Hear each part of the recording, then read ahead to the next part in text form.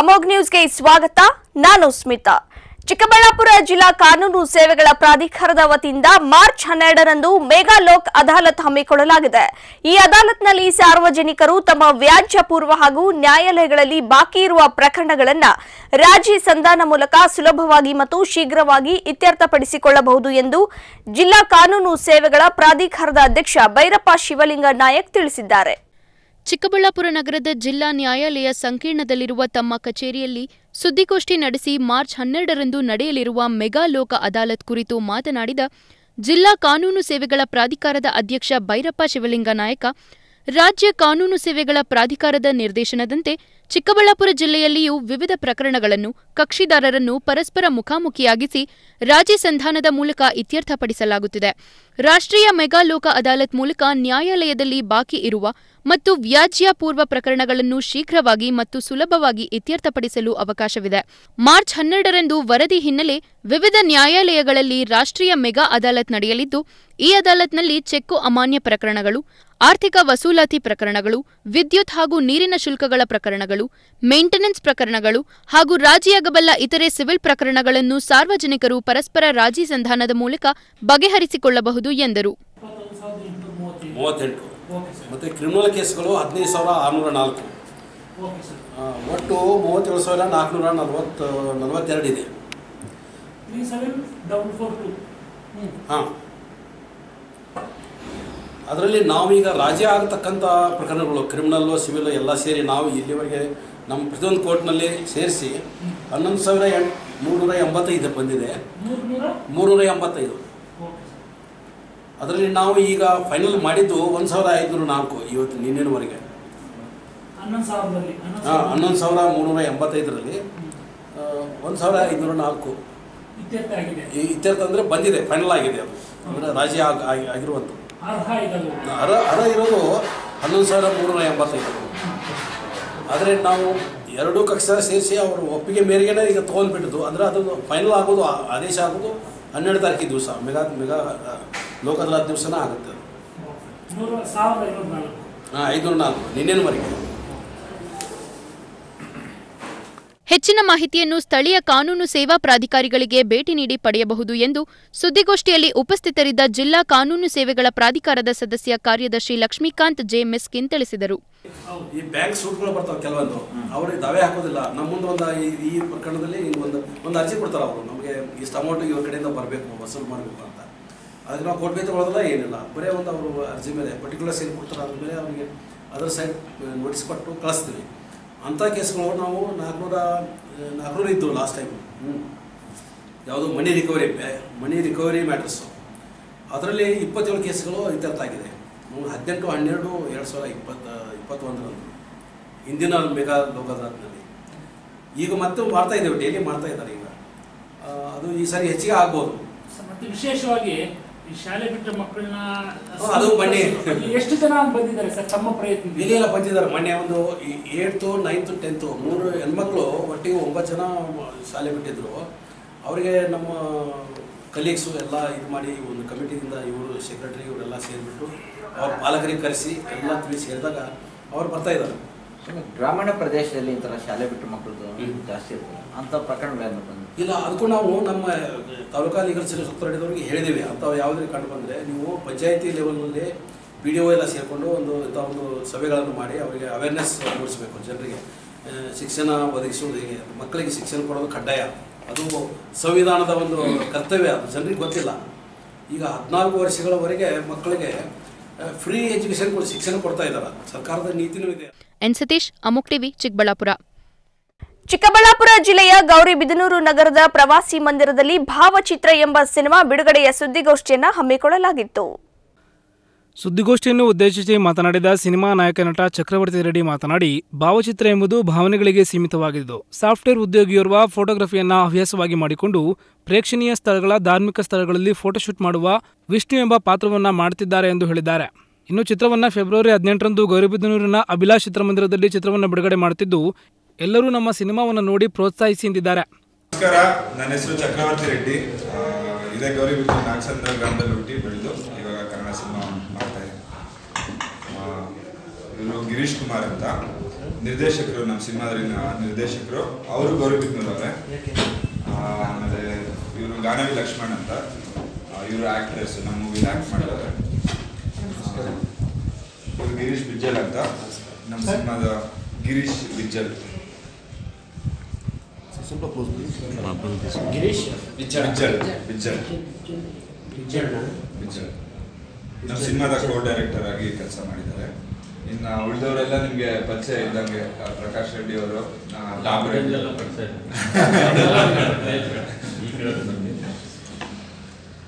So ನಾವೊಂದು cinema ಮಾಡಿದ್ವಿ ಭಾವಚಿತ್ರ ಅಂತ. ಅದು ಈ ಹದಿನೆಂಟನೇ ತಾರೀಕಿಗೆ ರಿಲೀಸ್ ಇಟ್ಕೊಂಡಿದ್ವಿ ನಾನು ಗೌರಿಬಿದನೂರ್ ಹುಡುಗ ಆಗಿರೋದ್ರಿಂದ ನೀವೆಲ್ಲ ನಮಗೆ ಸ್ವಲ್ಪ ಸಪೋರ್ಟ್ ಮಾಡಬೇಕು ಅಂತ ಕೇಳ್ಕೊಂತ ಈ ಪ್ರೆಸ್ ಮೀಟ್ ಆರ್ಗನೈಸ್ ಮಾಡಿದ್ದೀವಿ. ಆ, ಗೌರಿಬಿ ಗೌರಿಬಿದನೂರ್ ಅಭಿಲಾಷ್ ಥಿಯೇಟ್ರಲ್ಲಿ ಸಿನಿಮಾ ರಿಲೀಸ್ ಮಾಡೋಕ್ಕೆ ಪ್ಲ್ಯಾನ್ ಮಾಡ್ತಿದ್ವಿ ಇನ್ನು ನಿಮ್ದು ಮುಗಿಸ್ಬಿಡಿ ಸರ್. ಸೊ ನಾ ನಾವು ತುಂಬ ಕಷ್ಟಪಟ್ಟು ಸಿನಿಮಾ ಮಾಡಿದ್ದೀವಿ. ಭಾವಚಿತ್ರ ಅದೇ ಸಿನಿಮಾದ ನಾಯಕ ನಟನಾಗಿ ನಾನು ನಟಿಸಿದ್ದೀನಿ ಭಾವಚಿತ್ರ ಸಿನಿಮಾದ ನಾಯಕ ನಟಿ ಘಾನವಿ ಲಕ್ಷ್ಮಣ್ ಮಾತನಾಡಿ ನನ್ನ ಸಿನಿ ಜರ್ನಿಯಲ್ಲಿ ಅತ್ಯಂತ ವಿಶೇಷವಾದ ಕಥೆಯುಳ್ಳ ಸಿನಿಮಾ ಇದಾಗಿದ್ದು ಅತ್ಯಂತ ಮೃದು ಸ್ವಭಾವದ ವ್ಯಕ್ತಿತ್ವವುಳ್ಳ ನಟನಾಗಿ ಚಕ್ರವರ್ತಿ ರೆಡ್ಡಿ ನನ್ನ ಜೊತೆ ಅಭಿನಯಿಸಿರುವುದು ನನಗೆ ಅತ್ಯಂತ ಸಂತೋಷದ ವಿಷಯವಾಗಿದೆ ಎಂದಿದ್ದಾರೆ.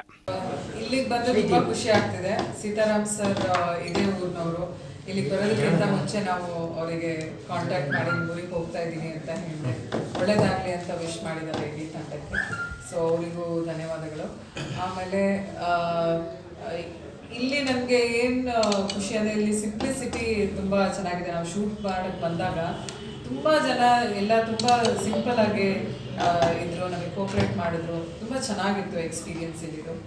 ಆಮೇಲೆ ನನ್ನ ಫಿಲ್ಮ್ ಜರ್ನಿಲಿ ಈ ಒಂದು ಫಿಲ್ಮಲ್ಲಿ ಭಾವಚಿತ್ರ ಅನ್ನೋ ಫಿಲ್ಮಲ್ಲಿ ನನಗೆ ಇಷ್ಟ ಆಗಿದ್ದು ಪ್ರತಿ ಒಂದು ಭಾಗದಲ್ಲೂ ಶೂಟ್ ಮಾಡಿರೋದು. ಇಡೀ ಕರ್ನಾಟಕದಲ್ಲಿ ಎಲ್ಲೂ ನೋಡ್ದಲೇ ಇರುವಂಥ ಜಾಗಗಳಿಗೆ ರೀಚ್ ಆಗಿ ಶೂಟ್ ಮಾಡಿ, ಅಲ್ಲಿದ ಒಂದು ಪ್ರಕೃತಿಯ ಸೊಡಗ, ಸೊಗಡನ್ನು ಕ್ಯಾಪ್ಚರ್ ಮಾಡಿರೋದು ನನಗೆ ತುಂಬಾ ಇಷ್ಟ ಆಗಿದೆ. ಆ್ಯಂಡ್ ಭಾವಚಿತ್ರ ಸಿನಿಮಾದಲ್ಲಿ ನನ್ನ ಪಾತ್ರ ಆರ್ಕಲಜಿಸ್ಟ್ ಒಂದು ಟೆಂಪಲ್ ಪುರಾತನ ದೇವಸ್ಥಾನಗಳ ಬಗ್ಗೆ ಒಂದು ವಿಶೇಷವಾದ ರಿಸರ್ಚ್ ಮಾಡೋದು ಸೊ ಅಲ್ಲಿ ರಿಸರ್ಚ್ ಮಾಡ್ತಾ ಮಾಡ್ತಾ ಏನಾಗುತ್ತೆ? ಸೊ ನನಗೆ ಎಷ್ಟು ಇಂಟ್ರೆಸ್ಟ್ ಅದ್ರ ಮೇಲೆ, ಆ ಕೆಲಸದ ಮೇಲೆ ಒಂದು ಪ್ಯಾಷನೇಟ್ ಆಗಿ ಒಂದು ಹಳ್ಳಿಗೆ ಬಂದಿರ್ತೀನಿ. ಸೊ ಆ ಥರದೊಂದು ರಿಸರ್ಚಿಂಗ್ ರೋಲ್ ನಂದು. ತುಂಬ ಸ್ಟ್ರಿಕ್ಟ್ ಇರ್ತಾಳೆ, ತುಂಬ ಭಾವಚಿತ್ರ ಸಿನಿಮಾದ ನಿರ್ದೇಶಕ ಗಿರೀಶ್ ಕುಮಾರ್ ಮಾತನಾಡಿ, ಭಾವಚಿತ್ರ ಸಿನಿಮಾ ಪ್ರೇಕ್ಷಣೀಯ, ಧಾರ್ಮಿಕ ಹಾಗೂ ಪ್ರಾಕೃತಿಕ ಸೊಬಗನ್ನು ತೋರಿಸುವ ಹಾಗೂ ಅದರ ವಿಶೇಷತೆಯನ್ನು ತಿಳಿದುಕೊಳ್ಳುವ ಅತ್ಯಂತ ವಿಶಿಷ್ಟವಾದ, ಅರ್ಥಗರ್ಭಿತವಾದ ಸಿನಿಮಾವಾಗಿದೆ. ಕನ್ನಡ ಚಲನಚಿತ್ರ ರಂಗದಲ್ಲಿ ವಿಶೇಷವಾದ ಚಿತ್ರವಾಗಿದ್ದು, ವಿಭಿನ್ನ ರೀತಿಯಲ್ಲಿ ಅದರಲ್ಲೂ ಚಿಕ್ಕಬಳ್ಳಾಪುರ ಜಿಲ್ಲೆಯ ಪ್ರಮುಖ ಪ್ರೇಕ್ಷಣೀಯ ಹಾಗೂ ಧಾರ್ಮಿಕ ಸ್ಥಳಗಳಲ್ಲಿ ಚರಿತ್ರೆಯನ್ನು ತೋರಿಸಿದ್ದು, ಇದೊಂದು ಟೆಕ್ನೋ ಥ್ರಿಲ್ಲರ್ ಸಿನಿಮಾ ಆಗಿದೆ ಎಂದಿದ್ದಾರೆ. ಒಂದು ಫೋಟೋ ಥೀಮ್ ಮೇಲೆ ಇಟ್ಕೊಂಡು ಮಾಡಿರೋಂಥ ಸಿನಿಮಾ. ಕ್ಯಾಮ್ರಾ ಬೇಸ್ ಆಗಿ ಇಟ್ಕೊಂಡು ಮಾಡಿರೋಂಥ ಸಿನಿಮಾ. ಚಕ್ರವರ್ತಿಯವರು ತುಂಬ ಚೆನ್ನಾಗಿ ಆ್ಯಕ್ಟ್ ಮಾಡಿದ್ದಾರೆ ಈ ಸಿನಿಮಾದಲ್ಲಿ. ಇಲ್ಲಿನ ಪ್ರತಿಭೆಗಳನ್ನ ನೀವೆಲ್ಲ ಬೆಳೆಸಬೇಕು ಅಂತ ಕೇಳ್ಕೊತೀನಿ. ಈ ಸಿನಿಮಾ ಬಗ್ಗೆ ಹೆಚ್ಚಾಗಿ ಹೇಳೋದೇನಿದೆ ಅಂದರೆ ನಾಲ್ಕು ಸಾಂಗ್ ಇದೆ ಈ ಸಿನಿಮಾದಲ್ಲಿ. ಈಗಾಗಲೇ ಸಾಂಗ್ಸು ಭಾಳ ರೀಚ್ ಆಗಿದೆ ಜನಕ್ಕೆ. ಯೂಟ್ಯೂಬ್ನಲ್ಲಾಗಲಿ ಡಿಜಿಟಲ್ ಗಾನ, ಮುಂತಾದ ಆ್ಯಪ್ಸ್ನಲ್ಲಿ ತುಂಬ ರೆಕಗ್ನೈಸೇಷನ್ ಸಿಗ್ತಾ ಇದೆ ಸಾಂಗ್ಗೆ ಹೀರೋಯಿನ್ ಗಾನವಿ ಲಕ್ಷ್ಮಣ ಅವರು ಮಾಡಿದ್ದಾರೆ. ಅವರು ಇದಕ್ಕೆ ಮುಂಚೆ ಮಗಳು ಜಾನಕಿ, ಸೀತಾರಾಮ್ ಸರ್ ಮಗಳು ಜಾನಕಿ ಸೀರಿಯಲಲ್ಲಿ ಲೀಡ್ ಆಗಿದ್ದರು ನಿಮಗೆಲ್ಲ ಗೊತ್ತಿದೆ ಅನ್ಕೋತೀನಿ ಸೀತಾರಾಮ್ ಸರ್ ಗೌರಿಬಿದ್ದೂರ್ ಅವರು ಆಗಿರೋದ್ರಿಂದ ಅವರು ಒಂದು ಪಾರ್ಟ್ ಎಲ್ಲೋ ಕನೆಕ್ಟೆಡ್ ಇದ್ದಾರೆ ಗೌರಿಬಿದ್ದೂರ್ಗೆ ಸೊ ಅದಕ್ಕೆ ಅವ್ರು ಬರೋದಕ್ಕೆ ಇಂಟ್ರೆಸ್ಟ್ ತೋರಿಸಿ ನಾವು ಇಲ್ಲಿವರೆಗೂ ಬರೋದಾಯಿತು. ಇನ್ನು ಅವ್ರ ಪಾತ್ರ ಬಂದು ಒಂದು, ಅವ್ರ ಪಾತ್ರ ಅವರೇ ಎಕ್ಸ್ಪ್ಲೇನ್ ಇನ್ನು ಈ ಪತ್ರಿಕಾಗೋಷ್ಠಿಯಲ್ಲಿ ಸಹ ನಿರ್ದೇಶಕ ಗಿರೀಶ್ ಬಿಜ್ಜಳ್, ಮಾಜಿ ತಾಲೂಕು ಪಂಚಾಯಿತಿ ಉಪಾಧ್ಯಕ್ಷ ಪ್ರಕಾಶ್ ರೆಡ್ಡಿ, ನಟನ ತಂದೆಯಾದ ಬಾಬು, ಮತ್ತಿತರರು ಹಾಜರಿದ್ದರು. ಆರ್ ಮಂಜುನಾಥ್, ಅಮೋಕ್ ಟಿವಿ ಗೌರಿಬಿದನೂರು ಚಿಕ್ಕಬಳ್ಳಾಪುರ ಜಿಲ್ಲೆಯ ಗೌರಿಬಿದನೂರಿನ ಹಿಜಾಬ್ ಕಿರಿಕಿರಿ ಮುಂದುವರೆದಿದ್ದು, ಹೈಕೋರ್ಟ್ ಆದೇಶವನ್ನು ಧಿಕ್ಕರಿಸಿ ತರಗತಿಗೆ ಹೋಗಲು ಎಇಎಸ್ ನ್ಯಾಷನಲ್ ಪದವಿ ಪೂರ್ವ ಕಾಲೇಜಿನ ವಿದ್ಯಾರ್ಥಿನಿಯರು ಮುಂದಾಗಿದ್ದಾರೆ. ಗೌರಿಬಿದನೂರು ನಗರದ ಎಇಎಸ್ ನ್ಯಾಷನಲ್ ಪದವಿ ಪೂರ್ವ ಕಾಲೇಜಿನಲ್ಲಿ ಸಮವಸ್ತ್ರ ಇದ್ದರೂ ಹತ್ತಕ್ಕೂ ಹೆಚ್ಚು ಮಂದಿ ಮುಸ್ಲಿಂ ವಿದ್ಯಾರ್ಥಿನಿಯರು ಹಿಜಾಬ್ ಧರಿಸಿ ತರಗತಿಗೆ ಪ್ರವೇಶಿಸುತ್ತಿದ್ದನ್ನ ಕಂಡು ಕಾಲೇಜಿನ ಪ್ರಾಂಶುಪಾಲರು ಹಾಗೂ ಉಪನ್ಯಾಸಕರು ಹಿಜಾಬ್ ತೆಗೆಯುವಂತೆ ಹೈಕೋರ್ಟ್ ಆದೇಶ ಪಾಲಿಸುವಂತೆ ಮನವೊಲಿಸಿದ್ದು, ಆದರೆ ಉಪನ್ಯಾಸಕರ ಮಾತಿಗೆ ಜಗ್ಗದ ವಿದ್ಯಾರ್ಥಿಗಳು ಹಿಜಾಬ್ ಧರಿಸಿ ಪಾಠ ಕೇಳುತ್ತೇವೆ, ಇಲ್ಲವೆಂದರೆ ಹೊರಗೆ ಹೋಗುತ್ತೇವೆ ಎಂದು ಪಟ್ಟು ಹಿಡಿದಿದ್ದಾರೆ ಎನ್ನಲಾಗಿದೆ.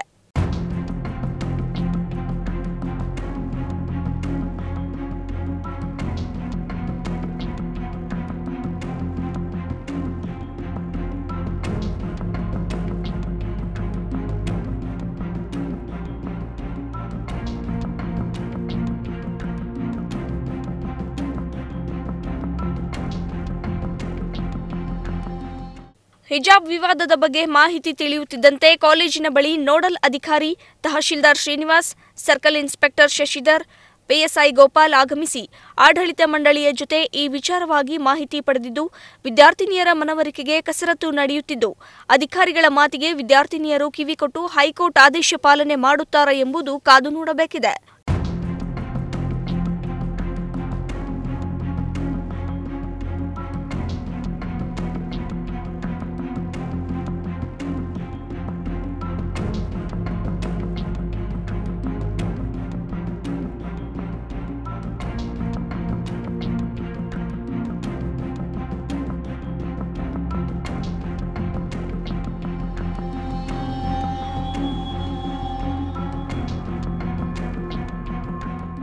ಇನ್ನು ಕಾಲೇಜಿನ ಬಳಿ ತಾಲೂಕು ಆಡಳಿತ, ಪೊಲೀಸ್ ಇಲಾಖೆಯ ಅಧಿಕಾರಿಗಳು ಮೊಕ್ಕಂ ಹೂಡಿದ್ದು, ಕಾಲೇಜಿನ ಬಳಿ ಬಿಗಿ ಪೊಲೀಸ್ ಬಂದೋಬಸ್ತ್ ಕೈಗೊಳ್ಳಲಾಗಿದೆ.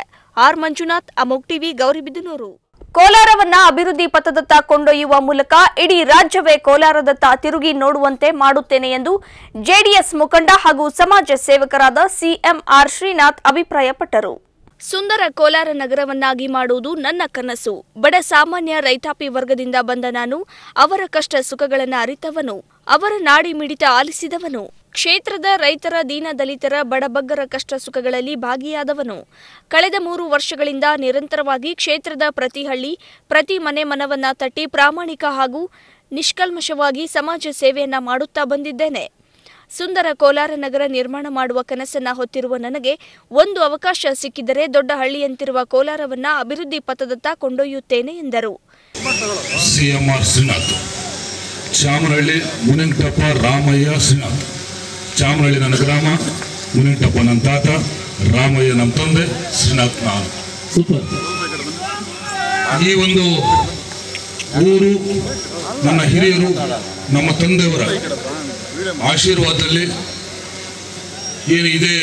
ಕೋಲಾರದ ಪಕ್ಕದ ಊರಿನವನಾಗಿದ್ದು ಚಾಮರಹಳ್ಳಿರೋನಾಗಿದ್ದು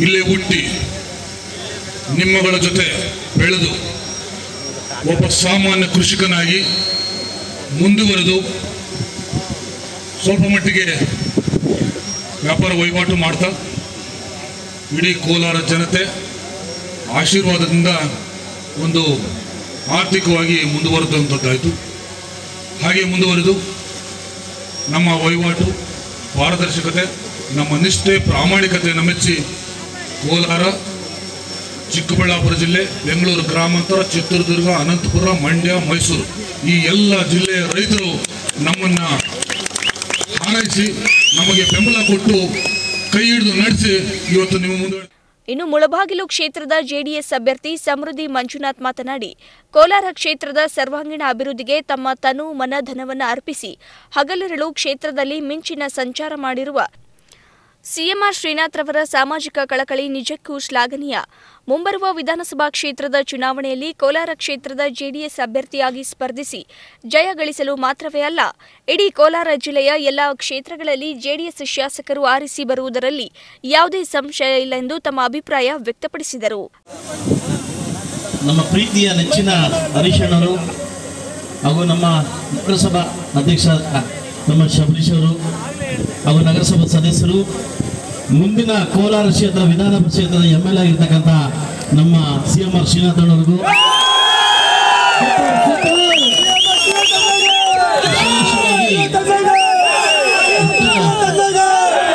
ಇಷ್ಟು ದೊಡ್ಡ ಮಟ್ಟದಲ್ಲಿ ನಾನು ಆಗ್ಲೇ ಮುಳುಬಾಗ್ಲಿಂದ ಬಂದೆ. ಯಾಕಂದ್ರೆ ಉರ್ಸ್ ನಡೀತಾ ಇದೆ. ನಂದು ಇವತ್ತು ಕವಾಲಿ ಇದೆ. ಕವಾಲಿನ ಓಡ್ ಬಂದೆ. ಯಾಕಂತಂದ್ರೆ ಇಲ್ಲಿ ಮಾತು ಕೊಟ್ಬಿಟ್ಟಿದ್ವಿ. ಇವತ್ತು ಹೋಗ್ಲೇಬೇಕಂತ ಓಡ್ ಬಂದೆ. ನಾನು ಆಲ್ರೆಡಿ ಇಲ್ಲಿ ತನಕ ನಾನು ಇಲ್ಲಿ ತೆಗೆದು ಇಲ್ಲಿ ಅಲ್ಲಿ ವಾಚ್ ಬಂದು ಮರ್ತೋಗಿದ್ದೀನಿ ನಾನು. ಸೊ ನಾನು ಇಷ್ಟೇ ಹೇಳೋದು, ಒಳ್ಳೆ ಮನಸ್ಸಿದ್ದಾಗ ಒಳ್ಳೆ ದಾರಿ ಸಿಗುತ್ತೆ, ಒಳ್ಳೆ ಜನ ಸಿಗ್ತಾರೆ.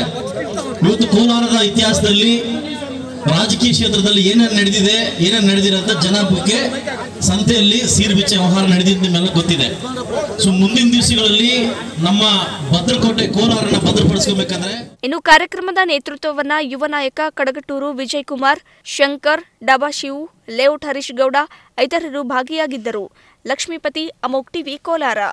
ರಸ್ತೆಗೆ ಅಡ್ಡಲಾಗಿ ನಾಯಿ ಬಂದ ಕಾರಣ cement mixer lorry sudden brake ಹಾಕಿದ ಪರಿಣಾಮ ಲಾರಿಗೆ ಕೆಎಸ್ಆರ್ಟಿಸಿ ಬಸ್ ಡಿಕ್ಕಿ ಹೊಡೆದಿದೆ. ಹಿಂಬದಿ ಬರುತ್ತಿದ್ದ ಕಾರು ಬಸ್ಸಿಗೆ ಡಿಕ್ಕಿ ಹೊಡೆದು ತುಮಕೂರು ರಸ್ತೆಯಲ್ಲಿ ಸರಣಿ ಅಪಘಾತ ಸಂಭವಿಸಿದೆ. ಇನ್ನು ನೆಲಮಂಗಲ ತಾಲೂಕಿನ ತಿಪ್ಪಗೊಂಡನಹಳ್ಳಿ ಬಳಿ ಈ ಘಟನೆ ನಡೆದಿದ್ದು, ಬೆಂಗಳೂರಿನಿಂದ ಶಿವಮೊಗ್ಗಕ್ಕೆ ತೆರಳುತ್ತಿದ್ದ ಕೆಎಸ್ಆರ್ಟಿಸಿ ಬಸ್ನಲ್ಲಿ ಪ್ರಯಾಣಿಸುತ್ತಿದ್ದ ಇಪ್ಪತ್ಮೂರು ಮಂದಿ ಘಟನೆಯಲ್ಲಿ ಅದೃಷ್ಟವಶಾತ್ ಪ್ರಾಣಾಪಾಯದಿಂದ ಪಾರಾಗಿದ್ದಾರೆ. ಬಸ್ ಚಾಲಕ ಮತ್ತು ಬಸ್ನಲ್ಲಿದ್ದ ಮೂವರು ಪ್ರಯಾಣಿಕರಿಗೆ ಸಣ್ಣ ಪುಟ್ಟ ಗಾಯಗಳಾಗಿವೆ. ಲಗ್ಗೆರೆಯ ಪ್ರಶಾಂತ್ ಎಂಬುವರಿಗೆ ಸೇರಿದ ಸ್ವಿಫ್ಟ್ ಕಾರು ಜಖಂಗೊಂಡಿದೆ. ಆಯ್ತು ಘಟನೆ? ಸರ್ ಮುಂದೆ ಒಂದು ಪಿಕ್ಚರ್ ಲಾರಿ ಅವರು ಹೋಗ್ತಾ ಇದ್ದಾರೆ. ಏನಾಗುತ್ತೆ ಲಾರಿ ಬಂತು ಮ- ನಾವೊಂದು ನಾಯಿ ಬಂತು ಅಂತ ಹೇಳಿ ಸಡನ್ ಬ್ರೇಕ್ ಹೊಡೆದ್ರು. ಅದರಿಂದ ನಾವಿದ್ದ ನಾವು ಡಿಸ್ಟೆನ್ಸಲ್ಲಿ ಇದ್ದೋ ಅವರು ಸಡನ್ ಬ್ರೇಕ್ ಹೊಡೆದ ಕಾರಣ ನಾವು ಬ್ರೇಕ್ ಹೊಡಿಲೇಬೇಕಾಯಿತು. ಹೊಡೆದ ರಭಸಕ್ಕೆ ಏನಾಯಿತು ನಮ್ಮ ವಾಹನದಲ್ಲಿದ್ದ ಒಂದು ಮೂರು ಪ್ರಯಾಣಿಕರಿಗೆ ಸಣ್ಣ ಪುಟ್ಟ ಗಾಯ ಆಯಿತು. ಅವ್ರನ್ನ ತಕ್ಷಣ ಆಂಬುಲೆನ್ಸ್ ಫೋನ್ ಮಾಡಿ ಗೌರ್ಮೆಂಟ್ ಆಸ್ಪತ್ರೆಗೆ ಕಳಿಸಿದ್ದೀವಿ ಆಗ ನಮ್ಮ ಡ್ರೈವರ್ಗೆ ಸಣ್ಣದಾಗಿ ಕಾಲು ಗೇಟಾಗಿದೆ ಪ್ರಯಾಣಿಕರಿಗೆ ಯಾರು ಯಾರಿಗಾದ್ರೂ ಒಂದು ಮೂರು ಜನಕ್ಕೆ ಗೇಟಾಗಿದೆ ಅವ್ರನ್ನ ಆಸ್ಪತ್ರೆಗೆ ಕಳಿಸಿದ್ದೀವಿ ಸಣ್ಣ ಪುಟ್ಟ ಆಗಿದೆ. ಪ್ರಯಾಣಿಕರು ಏನು ಲೇಡೀಸ್ ಜೆಂಟ್ಸ್ ಒಂದು ಒಬ್ಬರು ಲೇಡೀಸು ಇಬ್ಬರು ಜೆಂಟ್ಸು ಓಕೆ ಮತ್ತು ವಾಹನಕ್ಕೆ ಸ್ವಲ್ಪ ಡ್ಯಾಮೇಜ್ ಆಗಿದೆ ಫ್ರಂಟ್ ಮುಂಭಾಗ. ಅದರಂತೆ ಹಿಂದೆ ನಮ್ಮ ಹಿಂದೆ ಬರ್ತಿದ್ದಂಥ ಕಾರ್ ಅವರು ಸಹ ನಮ್ಮ ವಾಹನಕ್ಕೆ ಟಚ್ ಮಾಡಿಕೊಂಡು ಅವ್ರಿಗೂ ಸ್ವಲ್ಪ ಕಾರ್ ಡ್ಯಾಮೇಜ್ ಆಗಿದೆ. ಅದರಲ್ಲಿ ಏನೂ ಆಗಿಲ್ಲ. ಒಟ್ಟಿನಲ್ಲಿ ಯಾವುದೇ ಪ್ರಾಣ ಪ್ರಾಣ ಹಾನಿ ಇಲ್ಲ. ಪ್ರಾಣಾಪಾಯ ಯಾರಿಗೇನೂ ಆಗಿಲ್ಲ. ಸರ್. ಪುಟ್ಟ ಆಗಿದೆ. ಆ, ಸ್ವಲ್ಪ ಇದಾಗಿರೋರಿಗೆ ಆಂಬುಲೆನ್ಸ್ ಕರೆಸಿ ಆಸ್ಪತ್ರೆಗೆ ಕಳಿಸಿದ್ದೀವಿ. ಒಟ್ಟಿನಲ್ಲಿ ಈಗ ನಾಯಿ ಅಡ್ಡ ಬಂದಿದ್ಗೇನೆ ಬ್ರೇಕ್ ಹೊಡೆದಿರೋದು ಈಗ ಒಂದು ಆ ನಾಯಿ ಅಡ್ಡ ಬಂದಿದ್ದಕ್ಕೋಸ್ಕರ ಅವರು ಸಡನ್ ಬ್ರೇಕ್ ಹೊಡೆದ್ರು ಅದರಿಂದ ನಾವು ಅವರಿಂದ ಇದ್ದಿದ್ದರಿಂದ ನಾವು ಕಂಟ್ರೋಲಲ್ಲೇ ಇದ್ದು ಆದ್ರೂ ಅವ್ನು ಸಡನ್ ಬ್ರೇಕ್ ಹೊಡೆದಿದ್ದ ಕಾರಣ ಮೇನ್ ರೋಡ್ನಲ್ಲಿ ನಾವು ಅಪಘಾತ ಆಗಿತ್ತು. ಈಗ ಎಲ್ಲಿಂದ ಎಲ್ಲಿಗೆ ಹೋಗ್ತಾ ಇತ್ತು ಸರ್ ಬಸ್ ಇದು ಬೆಂಗಳೂರಿಂದ ಶಿವಮೊಗ್ಗ ಸರ್. ಎಷ್ಟು ಜನ ಪ್ಯಾಸೆಂಜರ್ಸ್ ಇದ್ರು? ಪ್ಯಾಸೆಂಜರ್ ಇಪ್ಪತ್ತ್ಮೂರು ಜನ ಇದ್ರು. ಇಪ್ಪತ್ತು ಜನ ಪ್ಯಾಸೆಂಜರ್ಗೆ ಏನಾಗಿಲ್ಲ ಅವ್ರನ್ನ ಬೇರೆ ಬಸ್ಗೆ ಕಳಿಸಿದ್ರು. ಓಕೆ ಸರ್ ನಿಮ್ಮ ಹೆಸರು? ಕುಮಾರ್ ಅಂತ. ಏನಾಗಿದೆ? ನಾವು ಕಂಡಕ್ಟರ್. ಇನ್ನು ಹೆದ್ದಾರಿಯಲ್ಲಿ ಅಪಘಾತ ಹಿನ್ನೆಲೆ ಕೆಲಕಾಲ ಕಿಲೋಮೀಟರ್ ಗಟ್ಟಲೆ ಟ್ರಾಫಿಕ್ ಜಾಮ್ ಉಂಟಾಗಿದ್ದು ಸ್ಥಳಕ್ಕೆ ಸಂಚಾರಿ ಪೊಲೀಸರು ಭೇಟಿ ನೀಡಿ ವಾಹನಗಳನ್ನು ತೆರವುಗೊಳಿಸಿ ಗಾಯಾಳುಗಳನ್ನು ನೆಲಮಂಗಲ ಆಸ್ಪತ್ರೆಗೆ ರವಾನಿಸಿದ್ದಾರೆ. ಇನ್ನು ಈ ಸಂಬಂಧ ನೆಲಮಂಗಲ ಸಂಚಾರಿ ಪೊಲೀಸ್ ಠಾಣೆಯಲ್ಲಿ ಪ್ರಕರಣ ದಾಖಲಾಗಿದೆ. ತಗ್ಗಿಕುಪ್ಪೆ ಶ್ರೀಧರ್ ಅಮುಕ್ ಟಿವಿ ನೆಲಮಂಗಲ. ಚಿಕ್ಕಬಳ್ಳಾಪುರ ಜಿಲ್ಲೆಯ ಗೌರಿಬಿದನೂರು ನಗರದ ಪ್ರವಾಸಿ ಮಂದಿರದಲ್ಲಿ ಬಿಜೆಪಿ ಹಿರಿಯ ಮುಖಂಡ ಎನ್ಎಂ ರವಿನಾರಾಯಣ ರೆಡ್ಡಿ ಲೇಔಟ್ ಮಾಲೀಕರ ಸಂಕಷ್ಟಗಳ ಕುರಿತು ಸುದ್ದಿಗೋಷ್ಠಿ ನಡೆಸಿದರು. ಪತ್ರಿಕಾಗೋಷ್ಠಿಯನ್ನ ಉದ್ದೇಶಿಸಿ ಮಾತನಾಡಿದ ಅವರು ತಾಲೂಕಿನಲ್ಲಿ ಲೇಔಟ್ ಮಾಲೀಕರು ಸಂಕಷ್ಟದಲ್ಲಿದ್ದು ಇವರ ಸಹಾಯಕ್ಕೆ ಉಪವಿಭಾಗ ಅಧಿಕಾರಿಗಳು ಕೂಡಲೇ ಸ್ಪಂದಿಸಬೇಕು. ಇಲ್ಲವಾದಲ್ಲಿ ಹೋರಾಟದ ಹಾದಿ ಹಿಡಿಯಬೇಕಾಗುತ್ತದೆ ಎಂದು ಬಿಜೆಪಿ ಮುಖಂಡ ಎನ್ಎಂ ರವಿನಾರಾಯಣ ರೆಡ್ಡಿ ಎಚ್ಚರಿಕೆ ನೀಡಿದರು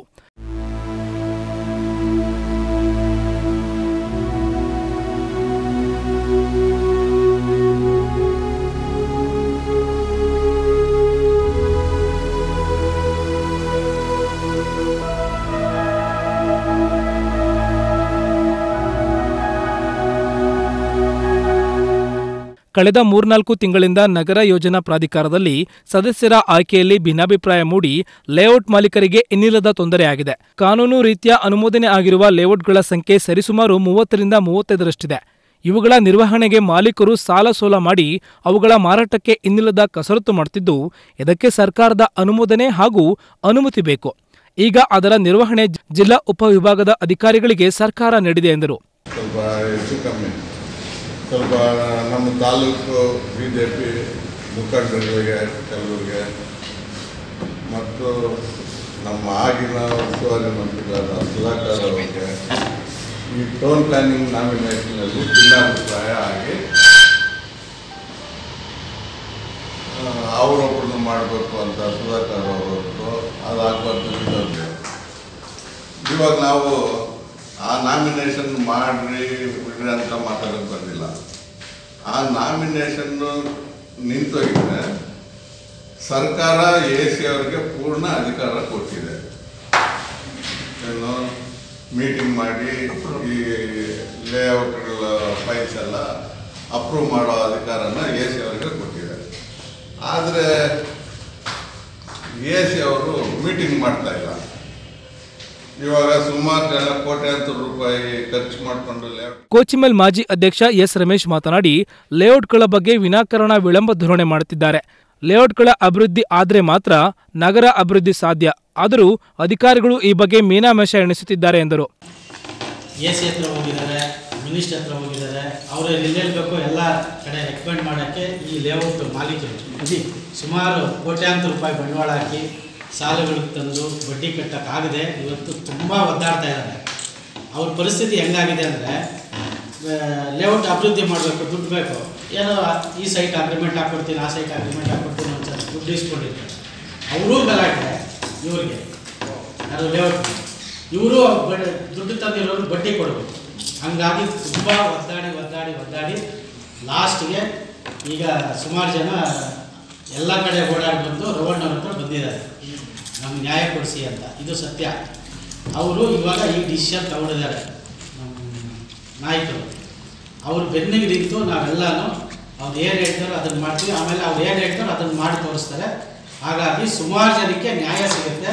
ಸುಮಾರು ಜನ ಇದನ್ನು ತಿಳ್ಕೊಳ್ತಾರೆ ಈ ಥರ ಏನೋ ಒಂದು ಕೆಲಸ ಮಾಡಿದ್ರೆ ಅಂತ ನನ್ನೊಂದು ಅಭಿಪ್ರಾಯ. ಇನ್ನು ಪತ್ರಿಕಾಗೋಷ್ಠಿಯಲ್ಲಿ ಬಿಜೆಪಿ ಮುಖಂಡ ಜಯಣ್ಣ ಮಾದನಹಳ್ಳಿ ರಾಮು, ವೆಂಕಟೇಶ್ ಮತ್ತಿತರರು ಹಾಜರಿದ್ದರು. ಆರ್ ಮಂಜುನಾಥ್ ಅಮೋಗ್ ನ್ಯೂಸ್ ಗೌರಿಬಿದನೂರು ಇದಿಷ್ಟು ಈ ಹೊತ್ತಿನ ಪ್ರಮುಖ ಸುದ್ದಿಗಳು ನೋಡ್ತಾ ಇರಿ. ಅಮೋಗ್ ಟಿವಿ ಎಂದೆಂದಿಗೂ ನಿಮ್ಮೊಂದಿಗೆ.